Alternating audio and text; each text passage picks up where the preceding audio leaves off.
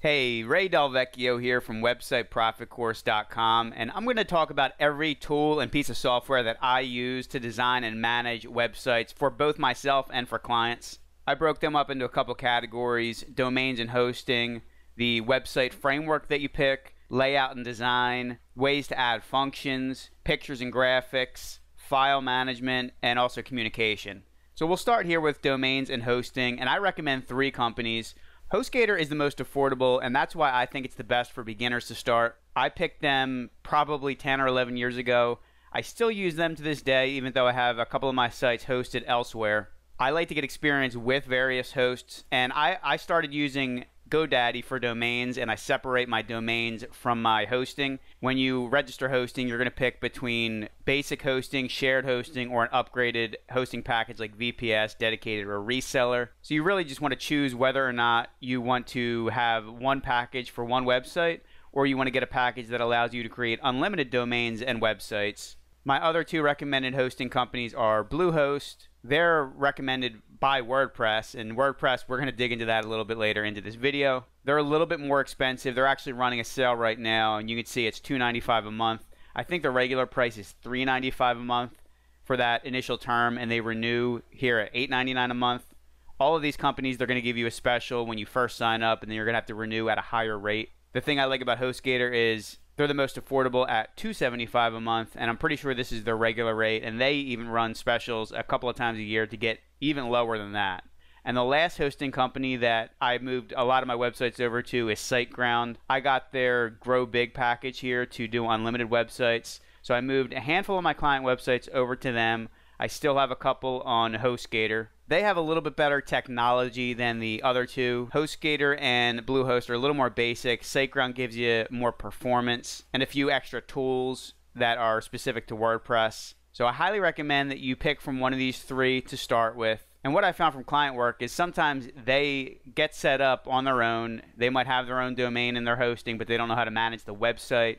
So I think it's good to get experience with a handful of hosting companies. If you're just getting started, don't overthink this decision. I'll include a link here in the top right to a video where I go more in depth on these hosting options. And if you want to get started right now, I'll include links that you can use to go and set up your web hosting from each of these companies in the description below. Now, one thing that I like to use for any hosting company is FTP. That just stands for File Transfer Protocol. And the program that I use for this is called FileZilla. This works across Windows and Mac. When you set up hosting, you'll have your host name, your username, and your password.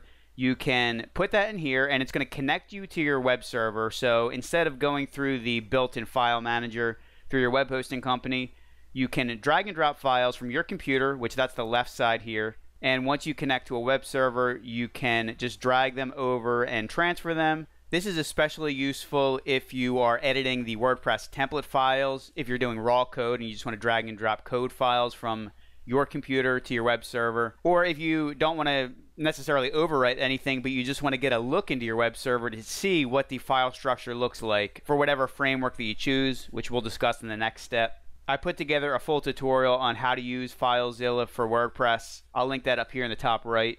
Next step is choosing the framework that you're going to use for web design. If you watched any of my videos, you know that I advocate for WordPress. I think it's the most flexible option. And WordPress is decentralized, meaning that you can just download the WordPress software. It's open source.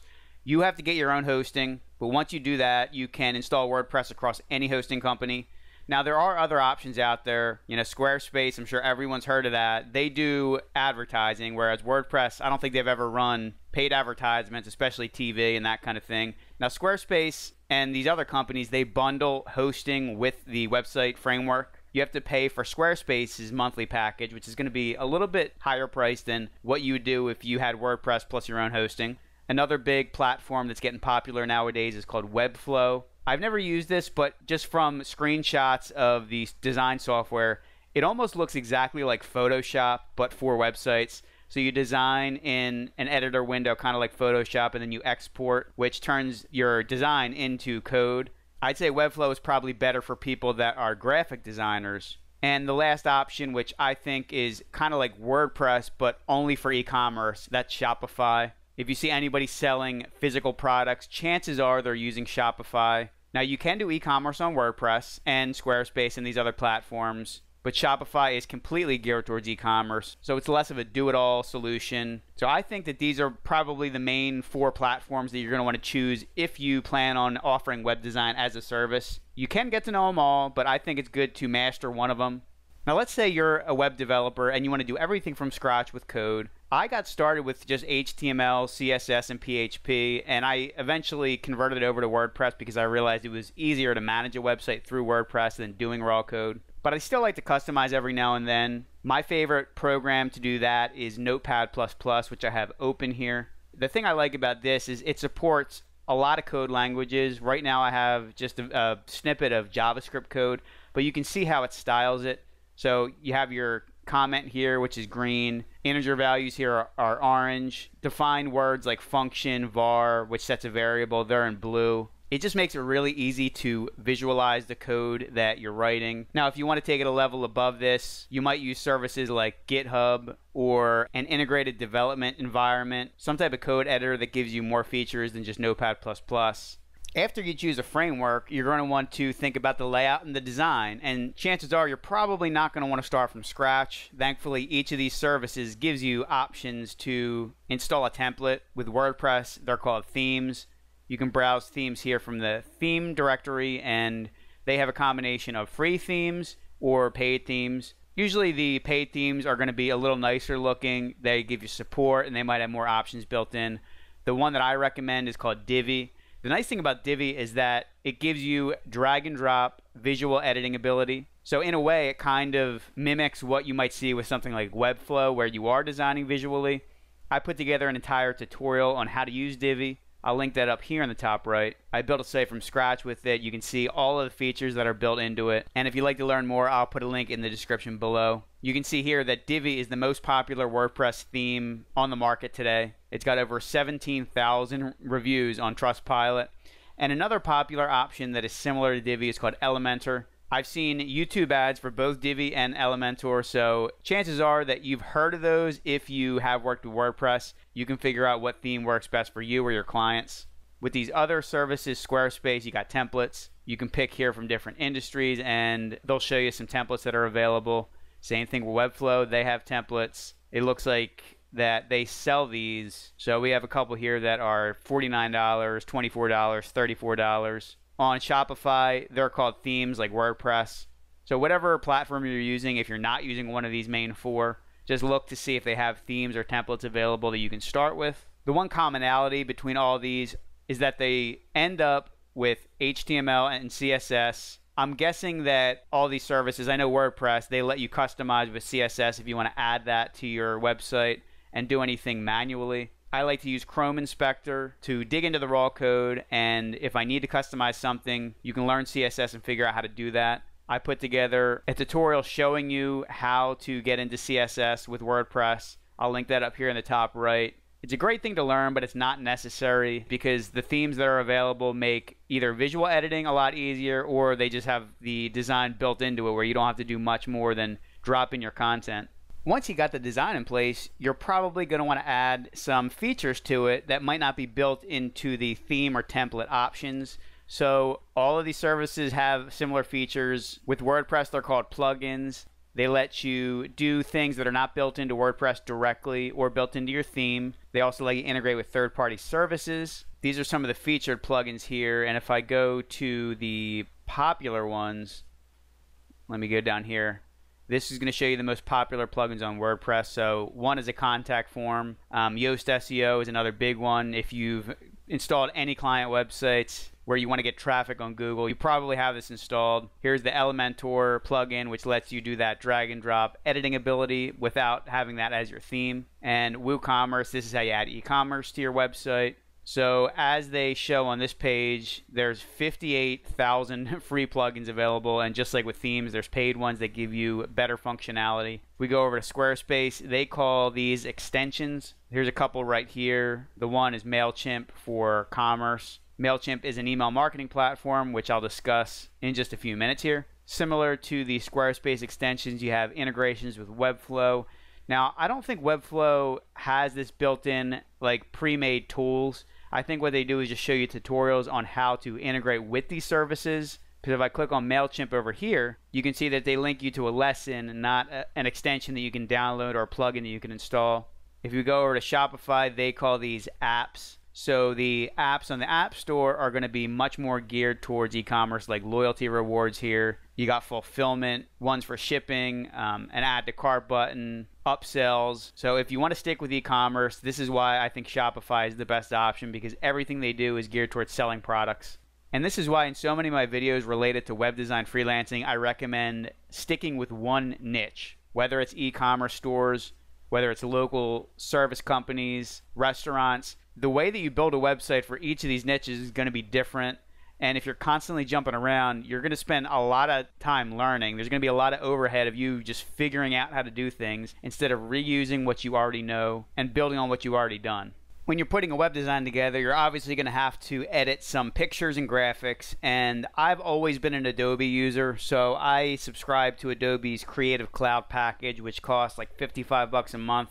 And that gives you access to every one of their services. So the two that I use most often are Photoshop and Illustrator. If I need to resize photos, I use a tool here called the Image processor, and that just runs through a batch of photos to resize them so they're web ready. But the beautiful thing about the world nowadays is you can usually do a lot for free or use online services. So the one that is most popular nowadays is Canva. I know they have templates, so in a way they kind of give you a better starting point than what you would have with Photoshop. You can see here they they have templates for presentation, social media, print products, marketing. Then when it comes to photos, you know, when I first got started, free stock photos weren't a thing. Nowadays, there's sites like this, pexels.com, P E X E L S. Another one is unsplash.com. You can do a search here for kitchen and you'll get a ton of kitchen photos. These are super high quality, so most of them are like 6,000 pixels wide, so you're definitely going to want to resize them before you upload them if the web design service that you use doesn't do that automatically. And the last one that I use very often is called Iconfinder. If I just want to add a little, you know, graphic to a widget area or something where I don't need a full photo, you can go into here. They have premium ones that you can buy or you can filter by free and then the license option so, you know, for commercial use, no link back. See what you got here and you can download these in multiple formats you have the different sizes here from 48 pixels all the way up to 4000 pixels or PNG, SVG, which is a scalable vector file. Anytime I need any types of graphics, these are the services that I use and I use the Adobe software to edit it if necessary. The final tools that I want to touch on are for files and communication. So I keep this really simple. For any spreadsheets and documents, I use Google Drive. I stopped using Microsoft products a long time ago. I still have it on my computer just in case I need to open one. For the most part, I just upload it to my Google Drive and let that convert it to the Google Drive files. I organize everything within folders here. I got spreadsheets to track a lot of the important information in my business and in my life. Anything that is not a spreadsheet or a document, I just keep on my computer on my Dropbox folder. I got a hierarchy within there where everything is synced between all of the computers that I have Dropbox installed on. You can get started for free with Dropbox and get two gigabytes of space. I subscribe to this Plus package, which is roughly 120 bucks a year. They give you two terabytes of space, and I'm using a, fraction of that, so I don't think I'm ever going to need to upgrade from this. I don't use project management software for this reason. I manage everything through these two services. And then when it comes to communication, my favorite tool by far is Grammarly. Right now I'm logged in and I'm using the Grammarly editor within the web. They also have a program that you can download or this integrates with Google Chrome for text areas if you're writing within WordPress. And it also has an extension for Microsoft if you're using Microsoft Word and want to write within there but they go through and make sure that your writing is clear and concise. You, they give you fixes here so you can see they want me to add a comma to that. They give you alerts on correctness, clarity, engagement, delivery. They give you a score, which really all I'm trying to do is get to like a 95 plus, and if I do that, I'm pretty happy with it. It's funny because growing up, I really didn't like writing at all, and now I'm writing blog posts. I'm, I'm prepping for these YouTube videos by jotting down bullet points or notes, and then with email marketing, I use MailChimp. So I'm writing emails to my list. I recommend MailChimp because it's free up to 2,000 subscribers. You can see here I'm showing the calendar of the campaigns that I've sent out in the last month. Email marketing is just a great way to stay in touch with your customers, whether you're running a blog yourself or you're managing a client's website. Pretty much every successful online business has an email list. MailChimp is the platform that I selected many years ago, and I've been happy with them.